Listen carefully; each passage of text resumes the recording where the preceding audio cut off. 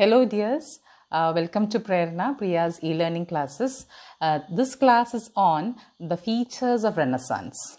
Okay അപ്പോൾ ഇതിന് മുമ്പ് നമ്മൾ റെനസാൻസിൽ എന്തൊക്കെ പഠിച്ചു? We discuss the meaning of the term Renaissance I told you that is rebirth we discussed the period when it began and I also told you it happen varying intensity and varying speed in various parts of Europe അത് പറഞ്ഞു. പിന്നെ നമ്മൾ പറഞ്ഞിട്ടുള്ള കാര്യം എന്തുകൊണ്ട് ഇറ്റലിയിൽ ഇത് തുടങ്ങി എന്നുള്ള കാര്യം പറഞ്ഞു. അപ്പോൾ അത്ര കാര്യങ്ങളൊക്കെയാണ് മിസ് പറഞ്ഞിട്ടുള്ളത്? അപ്പോൾ ഇന്ന് പറയാൻ പോകുന്നത് എന്തൊക്കെയാണ് റെനസാൻസ് എന്ന് പറയുമ്പം what are the main features എന്തൊക്കെയാണ് റെനസ് ഇതൊരു പ്രധാ പ്രധാനപ്പെട്ട ഒരു ടോപ്പിക്കാണ് എസ് ഒക്കെ ചോദിക്കുന്നതാണ്. റെനസാൻസ് എന്ന് പറഞ്ഞാൽ എന്താണ്? ഓക്കെ അപ്പോൾ അതിലേക്കാണ് ഇന്ന് കടക്കാൻ പോകുന്നത്. അപ്പം ആദ്യം ഞാൻ ചെയ്യാൻ പോകുന്നതെന്ന് വെച്ചാൽ I be discussing the features and certain slides towards the end I have focused mainly on humanism which is the most important feature of Renaissance അപ്പോൾ ആദ്യത്തെ സ്ലൈഡ്സിലൊക്കെ നിങ്ങൾ ഫീച്ചേഴ്സ് ഫീച്ചേഴ്സ് കാണും. അതൊക്കെ ഫീച്ചേഴ്സാണ് പിന്നെ ഞാൻ പറയാൻ പോകുന്നത് മോസ്റ്റ് ഇമ്പോർട്ടന്റ് ഫീച്ചർ അതായത് ഹ്യൂമാനിസം അല്ലെങ്കിൽ മാനവികത എന്ന് പറയുന്നതിനെ പറ്റിയിട്ടായിരിക്കും. അപ്പോൾ അതിലേക്ക് കടക്കാം. Okay so the slide slide that the world was growing less material and increasingly modern. അതായത് പതിനാറാം നൂറ്റാണ്ടിലെ കാര്യമാണ് ഞാൻ പറയുന്നത്. അതായത് നമ്മൾ കഴിഞ്ഞ കൊല്ലം പഠിച്ചു. എന്താ when we studied the middle ages we discuss the role of church in the lifes of people how spiritual people were the control the clutches of people every the clutches of church were that was discussed അപ്പം ഈ ഒരു കാലഘട്ടം എന്ന് പറയുമ്പോൾ അതിൽ നിന്ന് മാറുകയാണ് okay dark ages നിന്ന് we are going to a new age discussing a new age medieval കാലഘട്ടം പൊതു പൊതുവെ ചരിത്രകാരന്മാർ ഡാർക്ക് ഏജസ് എന്ന് പറയും. അപ്പം അതിൽ നിന്നൊരു മാറ്റം എതിർക്കുന്നവരും ഉണ്ട്. പക്ഷെ നമ്മളത് അങ്ങനെ ജനറലി അങ്ങനെയാണ് പറയുന്നത്. So less medieval and more modern okay അപ്പോൾ അതാണ് പ്രധാനമായിട്ട് നമ്മൾ ഓർക്കേണ്ട ഒരു കാര്യം. അപ്പം എന്തൊക്കെയാണ് റെനസാൻസ് എന്ന് പറയുമ്പോൾ തന്നെ നമുക്ക് എന്തൊക്കെയാണ് മനസ്സിലാവുന്നത്? അപ്പം ഇറ്റ് വാസ് പ്രത്യേകം ചെയ്ത് it was a movement against എന്ന് ഞാൻ മനസ്സിലോട്ട് ഇട്ടിട്ടുണ്ട്. എഗൻസ്റ്റ് എന്ന് കൃത്യമായിട്ട് ഓർക്കുക.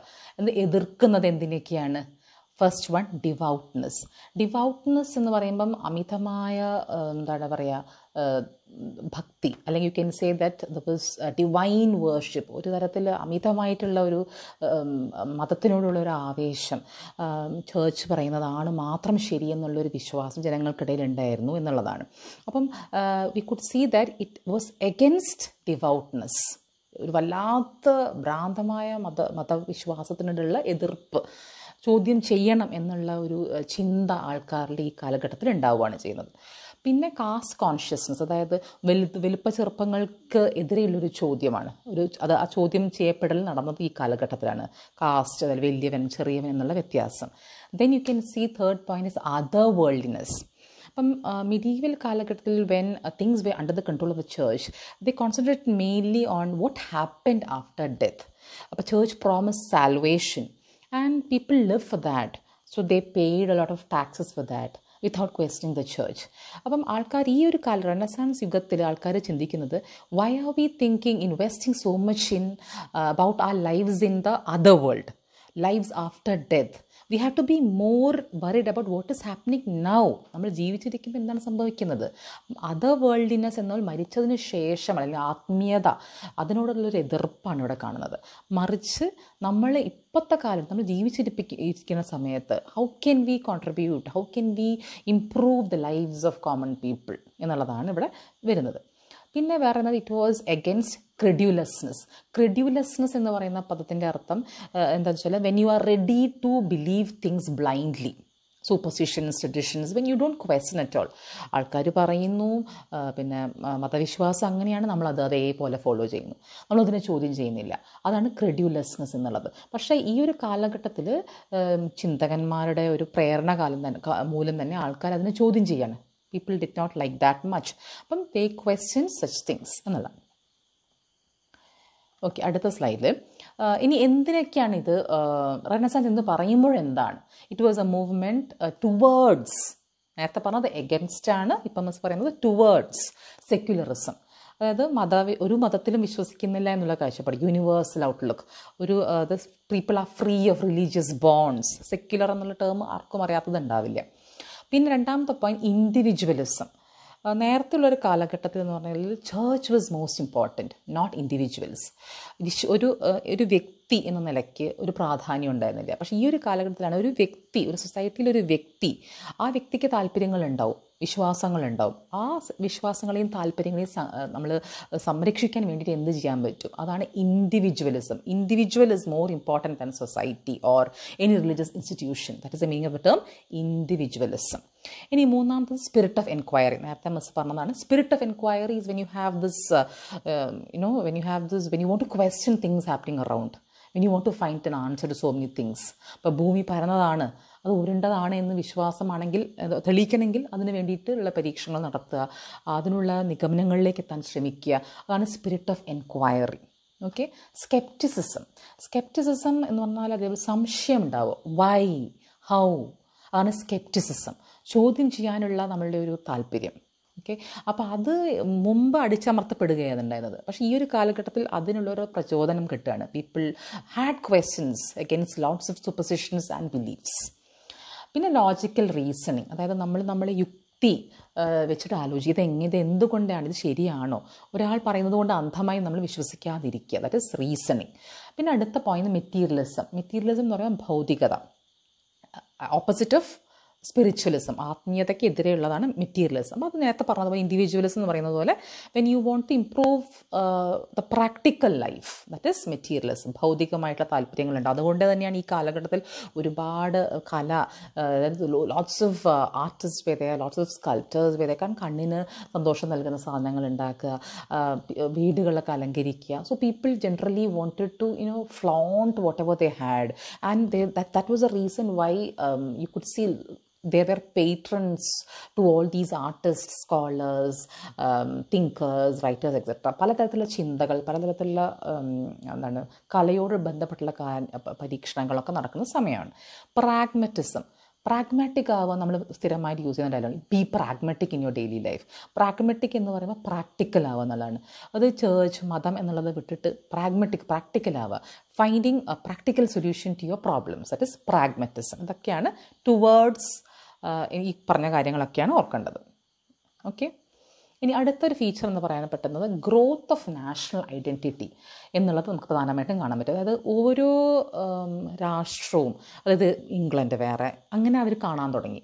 എന്റെ രാജ്യം my country best my country right or wrong that is best ഞാൻ എന്നുള്ളത് എന്റെ രാജ്യവുമായിട്ട് തന്നെ ചേർത്ത് കാണുന്നത്.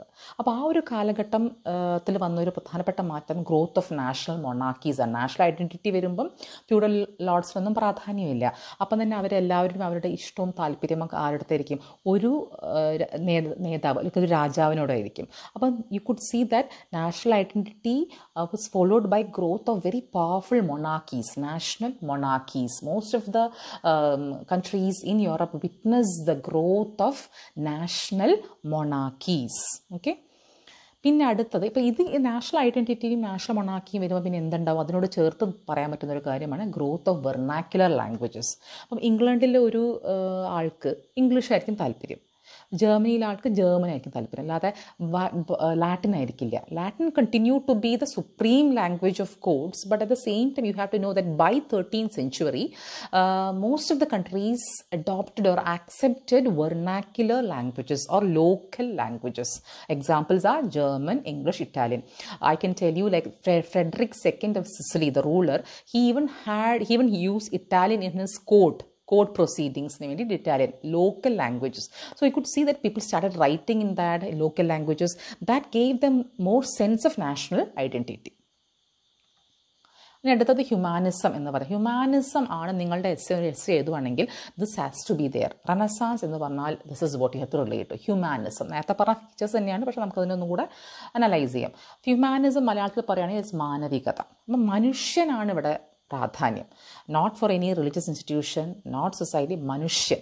മനുഷ്യൻ എന്ന് പറയുമ്പം ആദ്യമായിട്ടായിരിക്കും ഒരുപക്ഷെ ഈ കാലഘട്ടത്തിൽ വരയ്ക്കാൻ തുടങ്ങിയ ഇമേജസിലൊക്കെ മനുഷ്യനെ വരയ്ക്കും ഇതുവരെ divine figures മാലാഖമാരെയും divine figures whether on divine most of the writings were on God and divine figures spiritualism ആത്മീയത. അതിനൊക്കെ വിട്ട് മനുഷ്യൻ എന്നുള്ള സങ്കല്പം. മനുഷ്യനെ വരയ്ക്കാൻ തുടങ്ങി മനുഷ്യനെ പറ്റി എഴുതാൻ തുടങ്ങി മനുഷ്യനെ പറ്റി ചിന്തിക്കാൻ തുടങ്ങി. That is humanism മാനവികത. What is it simply speaking it is a system of thought that rejects religious beliefs and centres on human beings and their values വീണ്ടും നിങ്ങൾ വായിച്ചാൽ മതി. Okay it comes from the root word humanista which originates from the student slang. Students ടീച്ചേഴ്സിനെ വിളിച്ചൊരു പേര്. Teachers of grammar and rhetoric അവർ അവരുടെ വിളിച്ചിരുന്നൊരു പേരാണ് humanista എന്നുള്ളത്. Those who taught humane studies that is how the word originated and people who taught they were mainly involve in humanism okay so ദേവമേലി എന്താണ് ഇവർ ചെയ്തത് humanist എന്ന് പറയുന്ന സ്കോളേഴ്സ് മധ്യകാല സ്കോളേഴ്സിൽ നിന്ന് വ്യത്യസ്തമായി എന്താണ് ചെയ്തത് ദേ മെയിൻലി സ്റ്റഡീഡ് ക്ലാസിക്സ് Okay നമ്മൾ അന്നേ പറഞ്ഞു surge of classical leadership so here the mainly studied classics എന്ന് പറയുമ്പോൾ എന്തായിരിക്കും? The started studying about the works of ancient scholars which included Homer Tacitus Lucretius ഹോമറിന്റെ ഒക്കെ പഴയ ഇല്യഡ് ഒഡീസി പോലെയുള്ളതൊക്കെ എടുത്ത് വായിക്കാനുള്ളൊരു ശ്രമമാണ് നടത്തുന്നത് പഠിക്കാനുള്ള ശ്രമമാണ് നടത്തുന്നത്. That is the surge of classical scholarship പിന്നെ അവരെന്താ ചെയ്തത്? They wrote manuscripts in large numbers they multiplied the copies of text and this help the diffusion of knowledge at a faster pace അതായത് കുറേ പേര് ഇതിങ്ങനെ എഴുതുക. അപ്പോൾ അത് കുറേ അധികം സർക്കുലേഷനിലേക്ക് പോവാണ്. പ്രധാനമായിട്ട് ഇവിടെ പറയാൻ ആഗ്രഹിക്കുന്ന ഒരു കാര്യം this was the same time the printing press was discovered which accelerated the pace of diffusion of knowledge അപ്പോൾ പ്രിന്റിംഗ് പ്രസ് എന്ന് പറയുന്നത് ഗട്ടൻബർഗ് കണ്ടുപിടിച്ചു എന്നുള്ളതാണ് എതിർക്കുന്നവരുണ്ട്. പക്ഷേ എന്തായാലും നമുക്ക് അങ്ങനെ എടുക്കാം ഈ ഒരു കാലഘട്ടം നടന്നതാണ് പ്രിന്റിംഗ് പ്രസ് അപ്പം പ്രിന്റിംഗ് പ്രസ് ഉണ്ടാകുമ്പോൾ എന്താണ്? മാനുസ്ക്രിപ്റ്റ്സ് എഴുതി എഴുതി കൈകൊണ്ട് എഴുതി ഉണ്ടാക്കുന്നതിൽ എളുപ്പം എന്തായി? പ്രിന്റിംഗ് പ്രസ് ചെയ്യാൻ പറ്റി. So circulation was much more easier and cheaper a rule of printing press പിന്നെ ഞാൻ അന്ന് പറഞ്ഞിട്ടൊരു പോയിന്റാണ് പ്ലട്ടോണിക് അക്കാഡമി ഓഫ് മെഡിച്ചി അപ്പം മെഡിച്ചി എന്ന് പറയുന്നത് നമ്മൾ പറഞ്ഞിട്ടുണ്ടല്ലോ. അതായത് കോസിമോ ഡി മെഡിച്ചി അദ്ദേഹമാണ് കണ്ടുപിടിക്കുന്നത്. ആ ഒരു അക്കാഡമിയിലുള്ള ഒരു പ്രധാനപ്പെട്ട സ്കോളറിന്റെ പേര് humanist സ്കോളറാണ് Pico della Mirandola. This person was you know you have to know this person because he was so proficient in so many languages ഈ new Latin Hebrew Arabic Jew allegory അപ്പം ഇതൊക്കെ അദ്ദേഹം പഠിപ്പിക്കാൻ തുടങ്ങി. അപ്പോൾ അദ്ദേഹത്തിന്റെ his effort was typical of the best in humanist scholarship ഇദ്ദേഹത്തിനെയാണ് നമുക്കൊരു നല്ലൊരു സ്കോളർ ഈ പീരീഡിൽ എന്ന് പറയാൻ പറ്റിയത്. അപ്പോൾ അദ്ദേഹം ഉണ്ടായിരുന്ന സ്കൂളാണ് പ്ലേറ്റോണിക് അക്കാദമി അടുത്തത് നമ്മൾ ഫീച്ചർ എന്ന് പറയുന്ന ഹ്യൂമാനിസത്തിന്റെ it mainly let the quickening in Greek studies classical studies തന്നെ. രണ്ട് സ്കോളേഴ്സിന്റെ പേരാണ് ഞാനിവിടെ കൊടുത്തിട്ടുള്ളത്.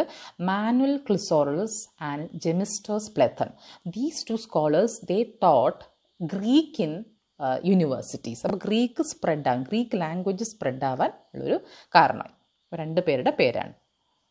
ക്രിസോളറസ് ആൻഡ് ജെമിസ്റ്റസ് പ്ലെത്തൻ ഓക്കെ ഇനി അടുത്തത് അവർ ഈ ഹ്യൂമാനിസ്റ്റ് എന്ന് പറയുന്നത് ദേവർ മോർ ദൻ സ്കോളേഴ്സ് എന്ന് പറഞ്ഞാൽ എന്താണ്? സ്കോളേഴ്സ് ആ പണ്ഡിതന്മാരാണ്. അതിന് ഉപരിയാണ്. That means they wrote themselves അവർ തന്നെ എഴുതാൻ തുടങ്ങി. They wrote poems treatises grammar rhetoric history politics so many realms of activities അപ്പോൾ അവരെല്ലാ മേഖലയിലും അവർ തന്നെ പുതിയ ഒരു ഒരു എന്താണ് പഠനശാഖ തുടങ്ങിയുണ്ടായി അവർ തന്നെ they added to the already existing knowledge so you simply can them call call them as simply scholars പക്ഷേ they were people who contributed immensely to the repository of knowledge which is already there. Okay. പിന്നെ ഒരു last point ആയിട്ട് പറയാൻ പോകുന്നത് contempt for the religious medieval life എന്ന് പറഞ്ഞാൽ most of these humanist scholars they did not like the idea of continuing what was there in the medieval period there are the looked looked medieval knowledge with contempt contempt എന്ന് പറഞ്ഞാൽ ഇഷ്ടമില്ലായ്മ കാരണം അതൊരു എന്താ പറയുക അതൊരു religion മതത്തിന് നമ്മൾ കഴിഞ്ഞ കൊല്ലം പഠിച്ചല്ലോ. എല്ലാം തന്നെ മതവുമായിട്ട് ബന്ധപ്പെട്ടുള്ളതാണ്. ചേർച്ച് കൺട്രോൾഡ് എഡ്യൂക്കേഷൻ അതുകൊണ്ട് തന്നെ മതവുമായി ബന്ധപ്പെട്ടുള്ള കാര്യങ്ങളാണ് കൂടുതൽ പഠിപ്പിച്ചിട്ടുണ്ടായിരുന്നത്. അപ്പോൾ അതിൽ താല്പര്യമില്ലാത്തവരായിരുന്നു ഹ്യൂമാനിസ്റ്റ് എല്ലാവരും അല്ല കുറേ പേര്.